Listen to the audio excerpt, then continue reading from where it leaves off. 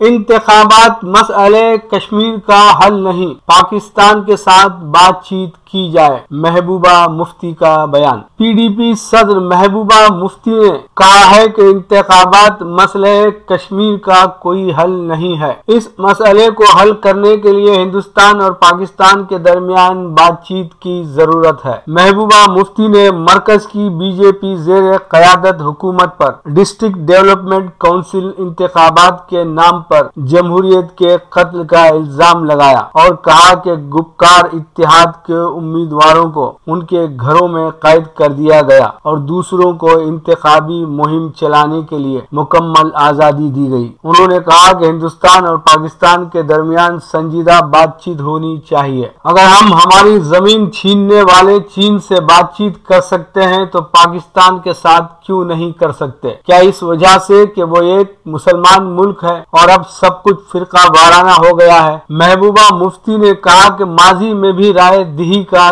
तनासब ज़्यादा रहा, लेकिन ये मसला कश्मीर का हल नहीं है। हिंदुस्तान के नौ लाख सिपाही यहाँ हैं। कौन सी दूसरी रियासत में शहरी इलाकों में इस कदर ज़्यादा फौज है? अगर आर्टिकल 370 की मनसूखी से तमाम मसाइल हल हो गए हैं तो फौज अब भी कश्मीर में क्यों तैनात है? फौज को सरहदों पर चले जाना चाहिए था। ये मसला था और उस वक्त तक रहेगा जब तक उसे पाकिस्तान और कश्मीर के अवाम के साथ बातचीत के ज़रिए हल नहीं किया जाता। पीडीपी चीफ ने कहा कि इतिहाद के उम्मीदवारों को डीडीसी इंतबात में आजादाना मुहिम चलाने की इजाज़त नहीं दी गई है। हमारे लोगों को कोई सिक्योरिटी नहीं है। उनको घरों तक महदूद कर दिया गया है और मुहिम चलाने नहीं दिया जा रहा है। जबकि बीजेपी उम्मीदवार आज़ादी से घूमते फिरते रहे। ये इंसाफ नहीं। क्या ये मुल्क बीजेपी के एजेंडे पर चलेगा।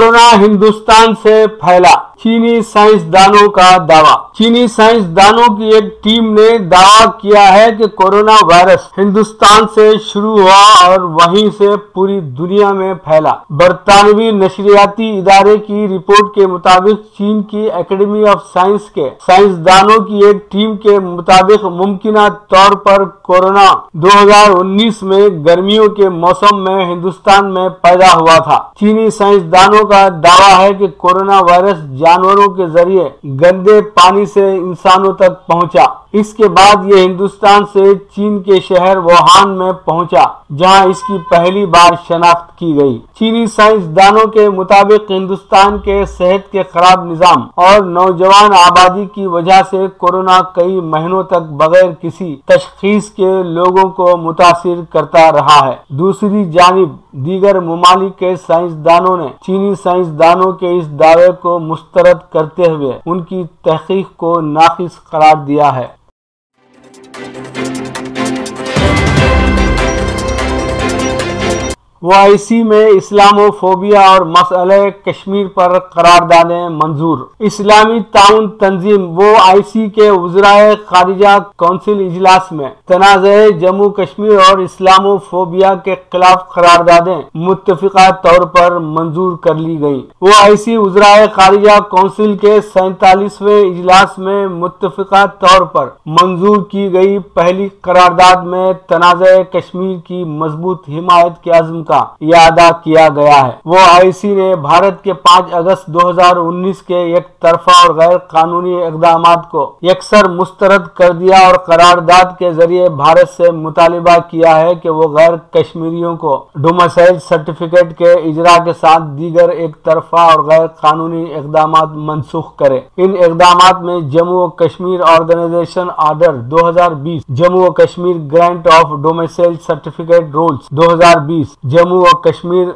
लैंग्वेज बिल 2020 और ज़मीन की मिल्कियत से मुताल्लिक कवानीन में तरमीम शामिल हैं। दफ्तर खारिजा के बयान में कहा गया कि वो आईसी के सत्तावन ममालिक ने आरएसएस, बीजेपी हुकूमत की पॉलिसियों को मुस्तरद करते हुए भारत से मुतालबा किया है कि वो मुतनाज़ा खत्े में आबादी का तनासब तब्दील करने के हवाले से कोई भी कदम उठाने से बाज रहे। तर्जुमान दफ्तर खारिजा ने कहा कि करारदाद में भारतीय फोर्सेस के मकबूजा वादी में इंसानी हकूक की पामालियों, जाली एनकाउंटर्स और नाम निहाद ऑपरेशन में। मावराए अदालत कत्ल समेत रियासती दहशत गर्दी के दीगर वाकयात की शदीद मजम्मत की गई है। मासूम शहरियों के खिलाफ पैलेट गन्स के इस्तेमाल, कश्मीरी खातन को हिरासा करने की भी मजम्मत करते हुए कहा गया है कि भारत मुसलसल कोरोना वायरस के बाईस पैदा होने वाली सूरत हाल को मिलिट्री क्रैकडाउन बढ़ाने के लिए इस्लामी ताउन तंजीम वो ऐसी के नए जनरल सेक्रेटरी हुसैन इब्राहिम ताहा को मुबारकबाद दी गई है। सऊदी अरब ने कहा है कि इस्लामी ममालिक के इस्तेकाम और तरक्की के लिए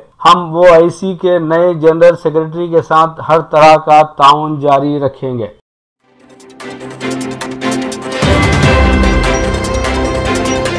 मकतूब रियाज, मिन जानब के एन वासिफ सऊदी अरब। हरम मक्की दुनिया की वो वाद इबादत गाह है, जहाँ सबसे ज़्यादा जायरीन आते हैं और ये सिलसिला साल के बारह महीने जारी रहता है। और ये जायरीन किसी एक खत्ते या मुल्क से नहीं, बल्कि दुनिया के कोने कोने से आते हैं। हरम मक्की में आने वाले जायरीन व आजमीन की सेहत और सलामती के लिए। हरमैन का इंतजामिया एहतियाती तदाबीर के सिलसिले में कोई दकीका फर्द गुजाश्त नहीं छोड़ता। साल के दीगर महीने हों या अयाम हज, साफ़ सफ़ाई के सिलसिले में हरमैन का इंतजामिया बेमिसाल खदमात पेश करता है। इन दिनों कोरोना की वबा के पेश नज़र हरम मक्की शरीफ को पाक रखने के लिए रोज़ाना तीन हज़ार पाँच सौ जरासीम कुश अदविये का इस्तेमाल किया जाता है हरमैन शरीफैन इंतजामिया के तहत वबाई अमराज के इंसदाद के लिए काम करने वाली कमेटी के सरबरा हसन बरकत ने कहा है कि हरम में इस्तेमाल होने वाली अदविया आला मैार की हैं। हरम की सफ़ाई और जरासीम से पाक रखने के लिए 33 टीमें दिन के 24 घंटे काम करती हैं, जो हरम के अंदरून हिस्से के अलावा बैरूनी हिस्सों की भी सफ़ाई पर मामूर है हरम मक्की को हर किस्म की जरासीम से पाक रखने के लिए 2500 लीटर अदविये का इस्तेमाल किया जाता है। जायरीन के लिए हरम के मुख्तलिफ़ हिस्सों में स्मार्ट सैनिटाइज आलात नस्ब हैं, जिनमें रोज़ाना एक हज़ार लीटर मवाद का इस्तेमाल किया जाता है। इन तमाम तर कोशिशों का मकसद ये है कि हरम मक्की को कोरोना समेत हर किस्म के जरासीम और वबाई अमराज से मुकम्मल तौर पर पाक रखा जाए। लीजिए अब पेश है हमारा प्रोग्राम वक्फ अदब। वक्फ अदब में मोहतरमा डॉक्टर राधिका को समाज फरमाइएगा। वसीला उर्दू टीवी चैनल के ज़रिए आज आपसे फिर एक बार रूबरू हो रही हूँ। आज मैं ज़िंदगी पर कुछ कहूँगी तरन्नुम में। ज़िंदगी एक सफ़र है। चले जा रहे हैं। ज़िंदगी एक सफ़र है, चले जा रहे हैं। बेखुदी में खुदी को ठगे जा रहे हैं। ज़िंदगी एक सफ़र है, चले जा रहे हैं।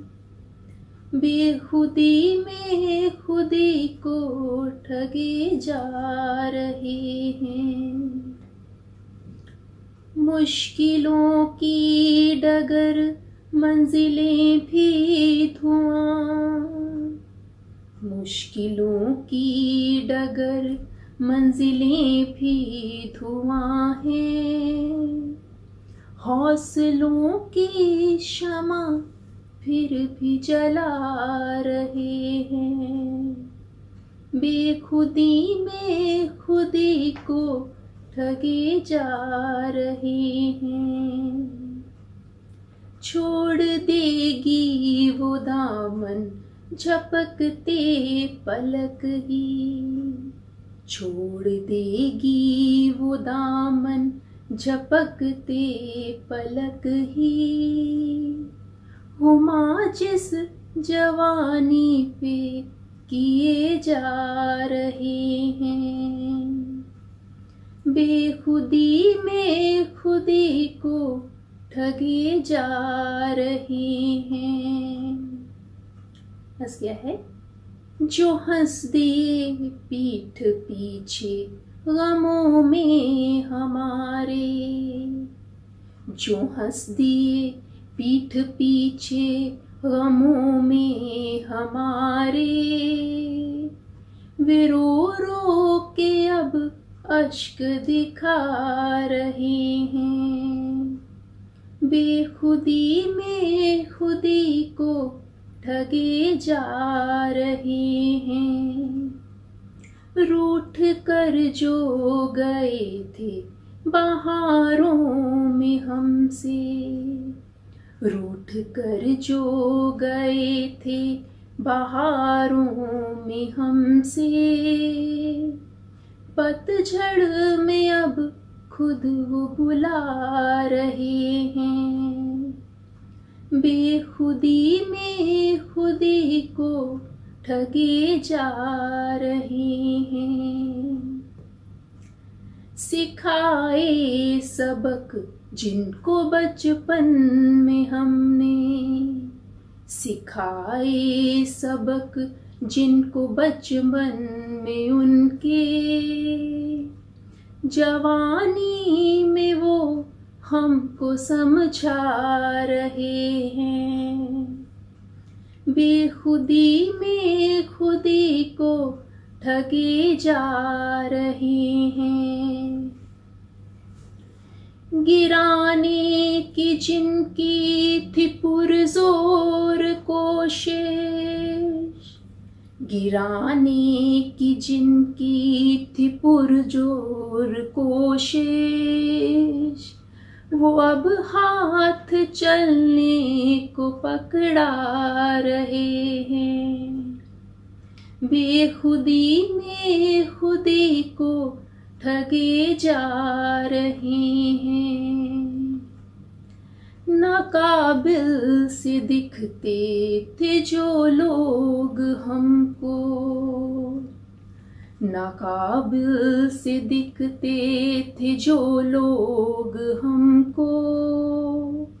सीढ़ियाँ वो तरक्की की चढ़े जा रहे हैं।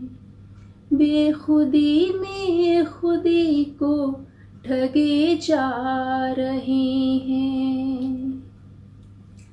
न फुर्सत, न फ़िक्र जिन्हें है हमारी।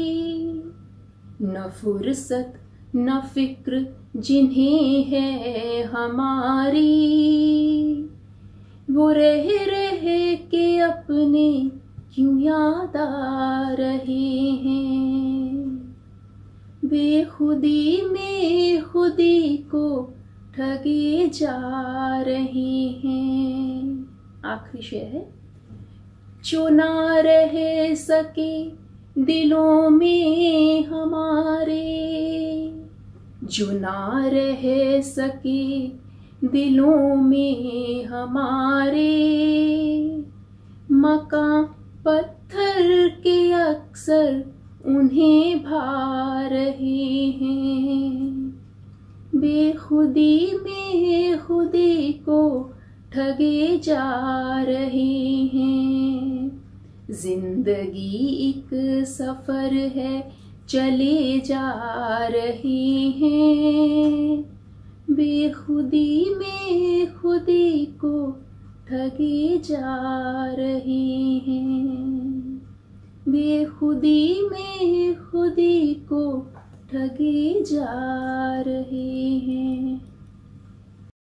नाजरीन, कहकहा तबीयत को तरो ताज़ा कर देता है। तो आइए कहकहा लगाते हैं।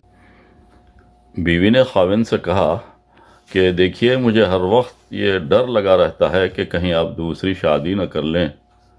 शौहर ने वाकई एक दिन शादी कर ली और आकर बेगम को बताया कि बेगम, मैं नहीं चाहता कि तुम हमेशा खौफ में और डर में मुबतला रहो। मोहब्बत ऐसी भी होती है।